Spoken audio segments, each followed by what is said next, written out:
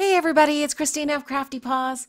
I'm here to share my last design team project for Top Flight Stamps. And I use this adorable little pug stamp to create three CAS or clean and simple cards. And I just wanted to share with you guys the whole process. I thought this pug stamp from Carabelle Studios, and the stamp set is called To Be or Not to Be, was so darn cute. The little wrinkles on his forehead, the hipster glasses. I mean, he's just so full of personality that I didn't think he needed much else. So I decided to go very clean and simple and create these really fun cards that I hope will bring smiles to people's faces when they receive them. So first of all, this first card that I used, I used a little bit of plastic that I wanted to test out where the stamp would be stamping out. I'm using a MISTI tool, but I wanted the card to just have just above the glasses of the puppy. So I am using that plastic just to test out exactly where the image would be stamped. And yes, that's exactly where I wanted the positioning. So I'm going to remove the plastic cover there. I'm trying to be careful so that I don't shift the cardstock underneath. And now I know that when I stamp this pug dog out onto this card front, just above the eyeglasses is where it gets stamped out. And I wanted this little peekaboo kind of uh, look for this uh, image. And I thought it would be super cute just to have this puppy dog peeking over the front edge of that card front. And for the sentiment, I thought it would be really cute to use uh, just popping up to say, and that's the sentiment from the Neat and Tangled out of the box stamp set. It's retired, but you can still find it in some shops, and I will put a link in the description box below, not only to the Carabelle Studios little pug stamp, but to the other stamp sets that I use for these cards for the sentiments. And the inside liner is getting a simple happy birthday exclamation point, which is also from that neat and tangled out of the box stamp set. And it's just, again, really clean and simple. I wanted to add some color to this image, especially because it's so small and it's just a partial image. So I'm going to do some really quick Copic coloring. I laid down a base with the really pale E51 and then I'm adding some shadowing with an E53. And I'm just following the lines of the image. And then for the ears and around the muzzle, I'm using a W5, also around the eyes to really deepen that warm gray look. Uh, and then also around the edges of the glasses. Now I'm going back in and blending back out, con connecting the dark gray or the midtone gray and that pale E51 with that E53. It kind of bridges that. Then I thought I would give the glasses a little blue tinge. I didn't want it to be blue blue and I wanted the color of the pug to show through, so I used a B41. And now I'm using a Uniball Signo white gel pen to add some reflective kind of glare light on the glass of the eyeglasses. And I think that that adds a nice little detailed look. I'm going to just use my ATG gun to add some adhesive to this card front. And I decided I was going to use a black card base uh, just because I wanted the inside liner to have that little frame around it. The whole front of the card is completely covered because I wanted it to be really clean and simple, have that really crisp white look all around that image. And that's one of the signatures of CAS cards is to have a lot of white space. And as you can see here, I left a little black border all the way around the inside liner. Now with a Sakura black glaze pen, and I did this intentionally after I put the card front on the card base, I'm just outlining the glasses, the frame of the glasses with this glaze pen so that it gets a little bit of shine and also a tiny bit of dimension. The glaze pen kind of gives, well, exactly what the name says. It gives a little glazed look to it. And I thought that that little bit of dimension and shine would be a nice addition to make the glasses stand out. I also decided to fill in the glass area with Ranger Glossy Accents. Now that gives a really high shine, and I'm just trying to be careful so that I don't um, accidentally touch the frame area with the glaze. And that's the finished card. I think it came out super cute. This is the inside of the card. As you can see, I kept it really clean and simple inside and out. Now for the second card, I decided I was going to try and keep this really really simple. I didn't even want to color this. So I decided I was going to use heat embossing and I'm using a Versamark ink pad and I'm going to just stamp the dog's head completely uh, right in the upper third quadrant of the card front. And I'm using a coffee filter to catch my excess and I'm using Ranger Superfine embossing powder in black.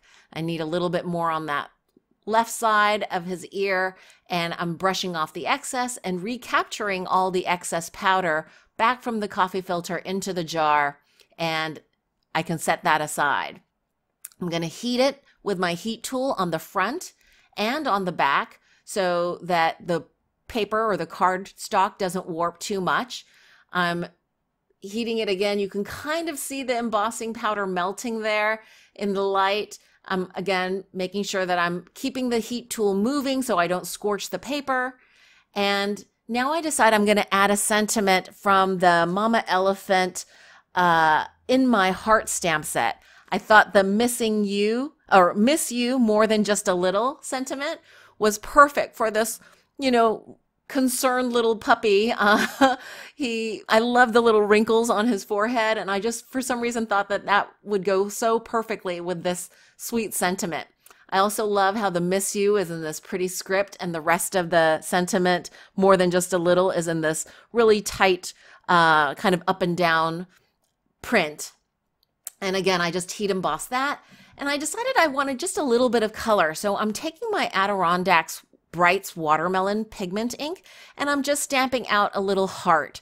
And that actually helps balance out the sentiment because I thought it was a little bit over to the left, at least the miss, the curly Q of the M from miss extended to the left a bit. So I wanted the right to have that same balance. So that red heart did the trick. And with pigment ink, the ink takes a little while to dry, so you can use embossing powder. And I'm just using a little bit of clear embossing powder to make that little heart shine. So it matches well with the little puppy.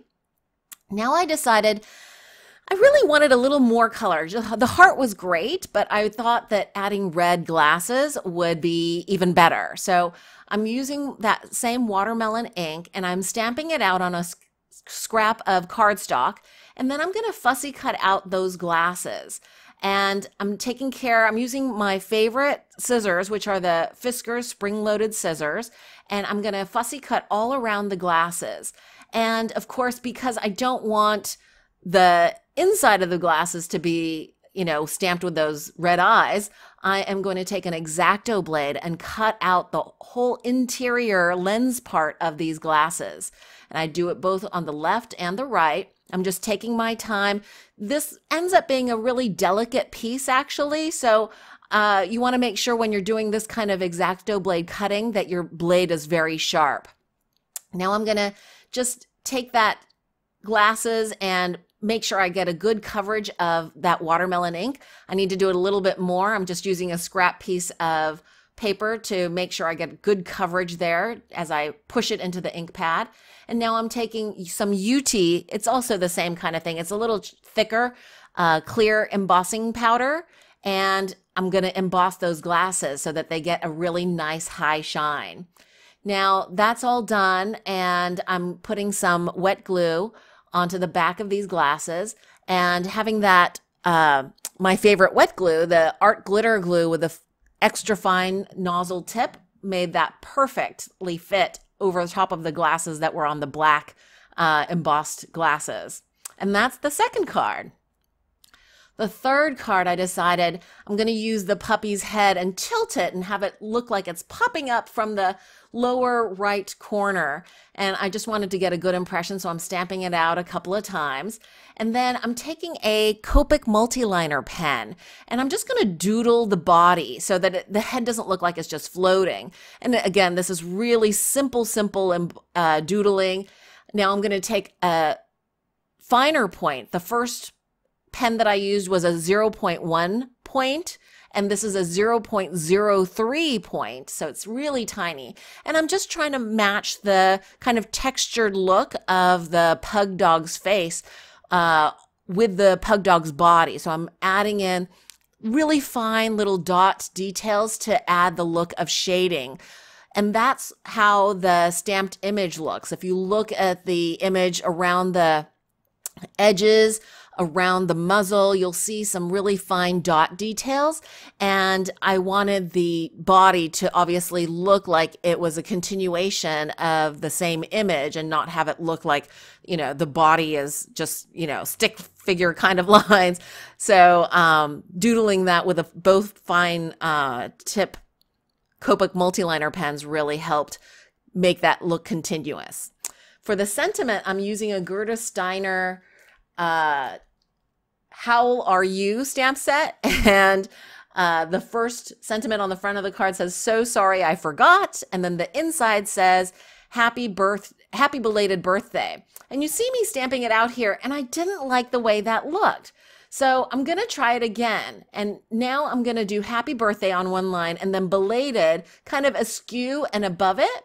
And I like that much better because now I get a chance to doodle a little caret symbol with a red uh, ultra fine Sharpie marker. And I think that looks, you know, like it adds a little whimsy somehow to it. And I'm just going to position that inside as the card liner and then the front of the card gets that little pug dog popping in saying, So sorry, I forgot. And now I decided I'm going to color up this pug as well. I'm using basically the same colors other than I'm adding a W7 to bring in a little bit darker shading on this one. And uh, you see me just laying down the base color and then I'm going to add in some shading with the E53 over top following along the image lines. Wherever there are wrinkles, I want to add a little bit of shading, uh, which makes sense, right? If it's an indentation or a valley, like those little wrinkles would be, they would be darker. And then I'm trying to blend back out. My marker is running out here. So off camera, I end up actually refilling that marker. And I'm letting it equalize while I color in the tongue with the R27 and then I go around the muzzle and the ears with the W7, adding little darker areas. I did it initially with a W5, but I wanted it to be a little bit darker. Uh, I also want to make sure that the nose gets a nice, good coating. And I decide I'm going to add more shadowing. So I'm using a W5 to go into some of those deepest wrinkles around the eyes, uh, by the neck roll. and then I go back in with the E53 to kind of blend that uh, warm gray with that pale E51. And now I am going back in and blending again with the E51, which I had refilled and let equalize off to the side. And now I decide I'm going to add a little bit of darker coloring around the eyes and nose again. And then finally, as a little top coat to the glasses, I again add B41. And again, I wanted to make sure it got that reflective look with those little hash lines with the white jelly or gel pen. This is a Uniball Signo pen. And I decide I want to re-emphasize the eyes and re-emphasize the highlight in that nose as well.